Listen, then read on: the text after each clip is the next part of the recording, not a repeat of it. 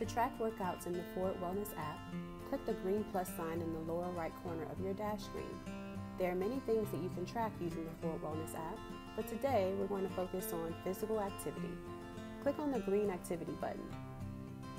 There are lots of general physical activities to choose from here.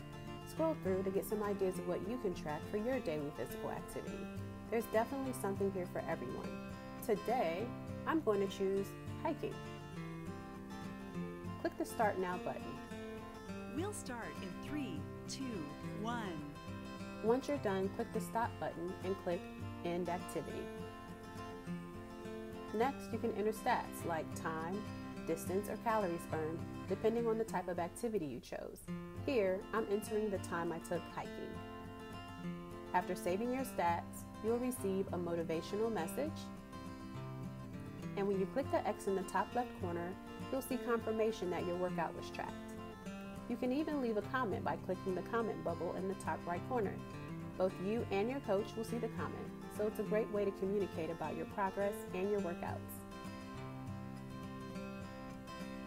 Once you X out of this screen, you'll be taken back to your dashboard where you'll see the workout you just did.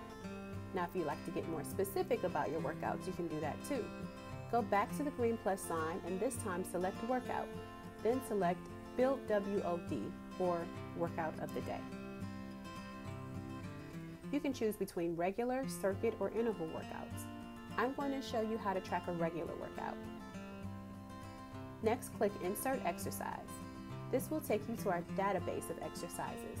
There are hundreds of them, and they're all listed in alphabetical order. You can either scroll through and select the exercise based on what you see, or if you already know what you'd like to do, you can type the exercise in the search bar.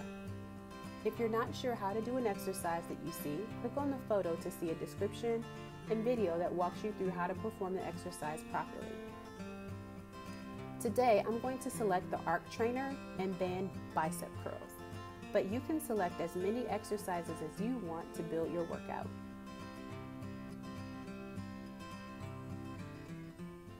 Once you've selected your workouts, click Done to continue.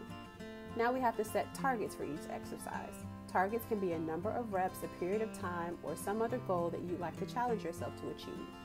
For the arc trainer, I'm going to set a time target of 20 minutes, and for bicep curls, I'm going to set a rep target of 15. The app defaults to three sets for most exercises, but I'm going to change mine to four for more of a challenge. Now I'm going to click Save so that the app saves my workout and targets. You can save this workout for later today or do it now. When you're ready to start your workout, go to your dash, click on Workout of the Day, then Start Now. Enter your stats for each exercise, including for each set, and then save your work.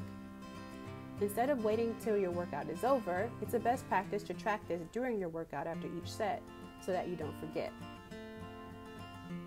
Rate your workout on how easy or difficult it was for you, then click Done.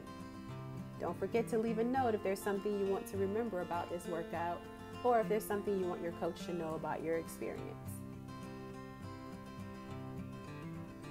And that's how to track both general and specific workouts.